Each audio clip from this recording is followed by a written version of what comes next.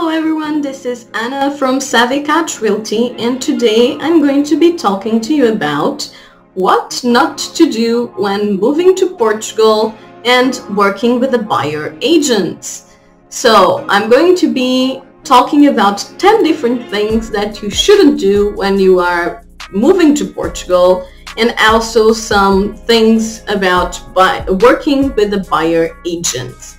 Before we start, I'd like to remind everyone that isn't aware that Savvy Cat Realty is a buyer and investment relocation agency that works with people that are looking to move to Portugal and supporting the whole process from visa to choosing the location to getting property or renting property to actually settling and even renovations and construction. If this is something that you think you will be needing, feel free to take a look at our website www.savvycatrealty.com where we share all the information on how our services work and also share a lot of useful tips and tricks and value and information about moving and relocation to Portugal.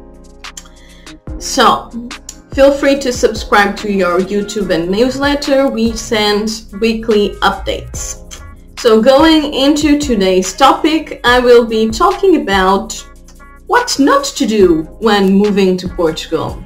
So the first thing that you should be very aware of is that Portugal is not cheap. So it may be cheap if you are maybe coming from California and the market and lifestyle is absolutely crazy there but the big cities are getting very unaffordable especially lisbon and porto. We are talking about rent prices that are going minimum 1500 and in lisbon we have average prices of property of between 6 and 8 5 and 8k per square meter depending on the area. In Porto, it's still a lot more affordable, but it's already up between 3.5 and 5.5k per square meter.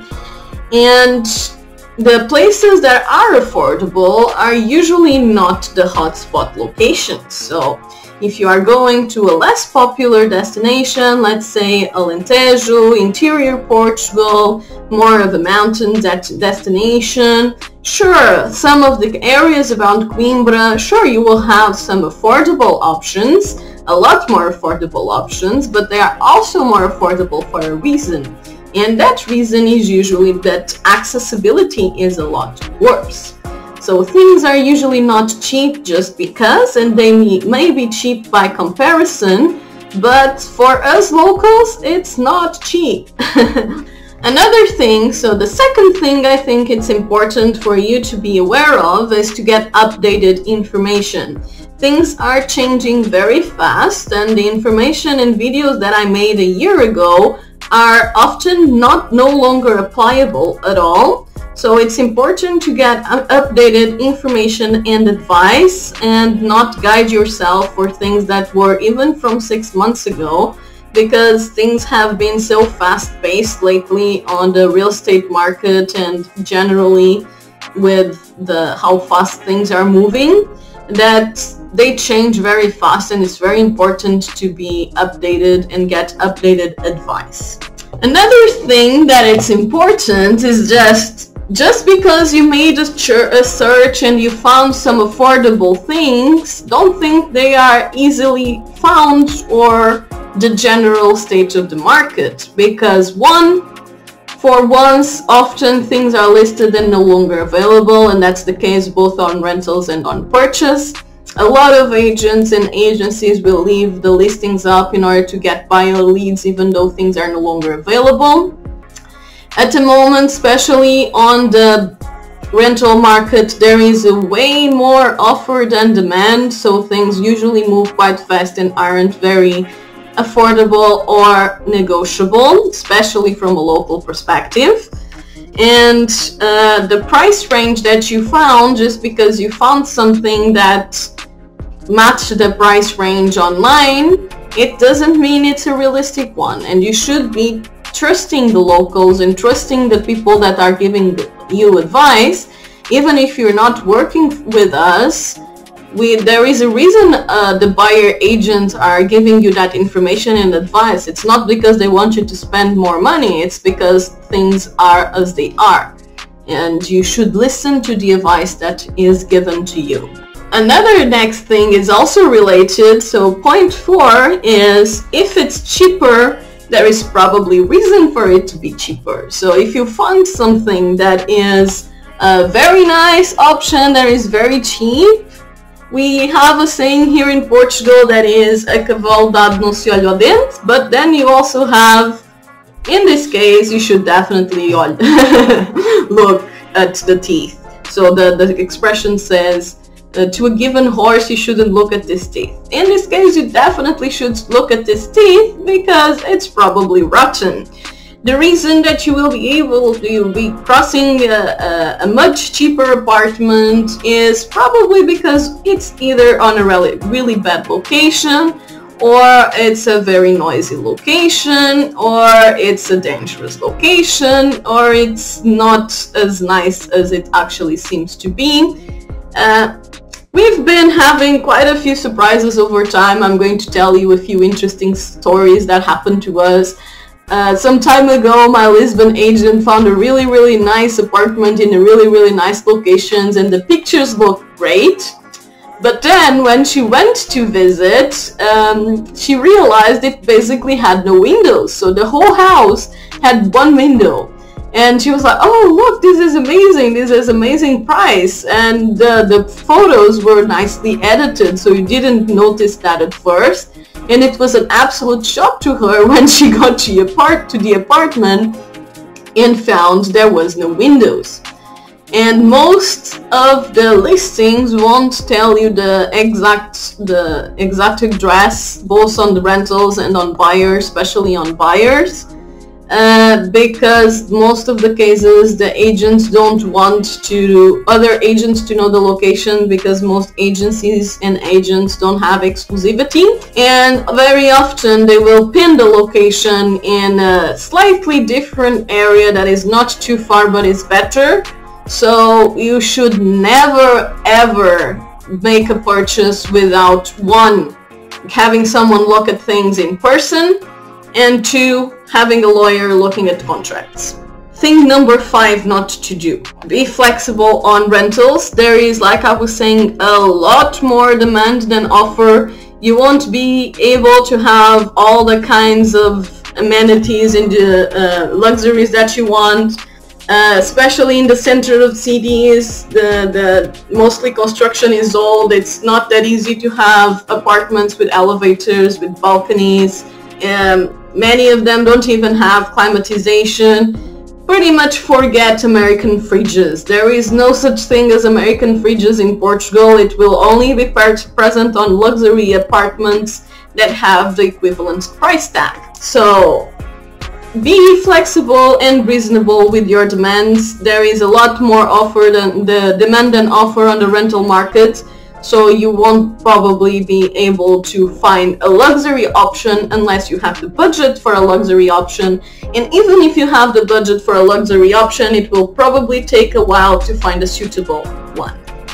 So keep that in mind. The next thing is remember utilities are on top of rent. So whatever you are be you are paying for rent especially if it's long term you'll be paying the utilities on top. The better the energy certification of the house, the more affordable those utilities will be. But unfortunately, not a lot of people indicate the energy certification on the, of the house on rentals.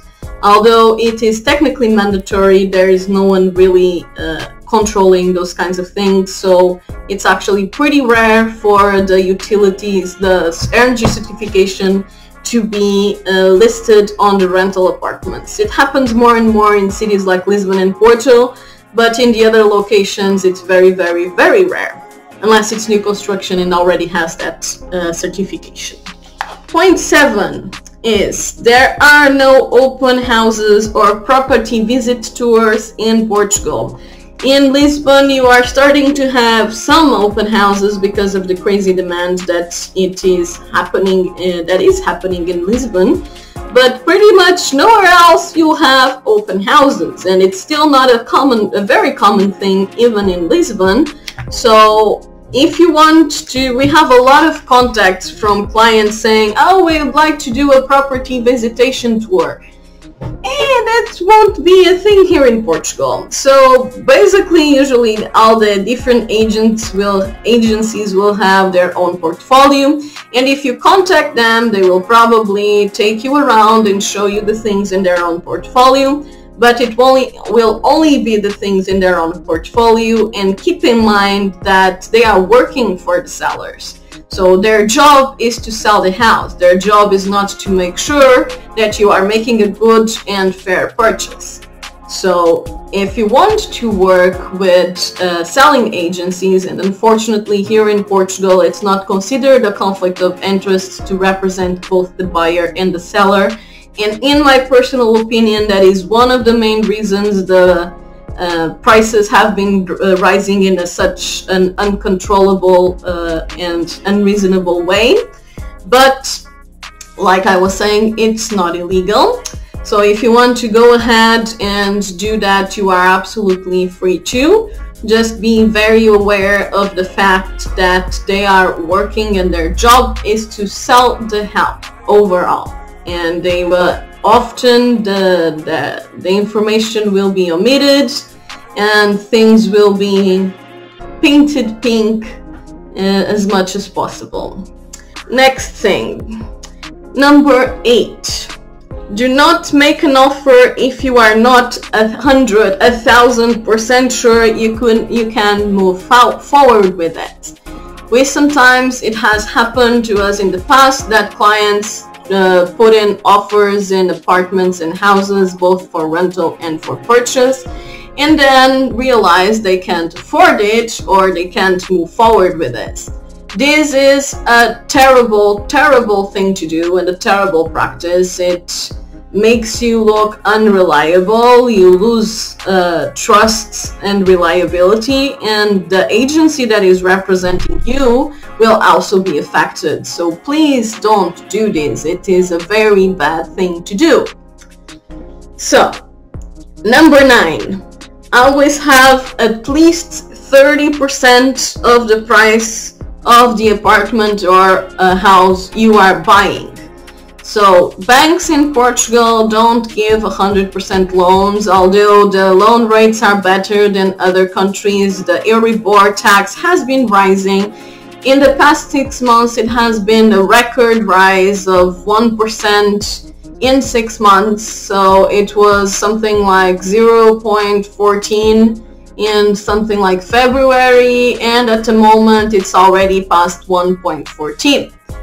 So the banks here in Portugal and in most most of Europe are quite strict on who they loan to and they have a lot of requirements for loans.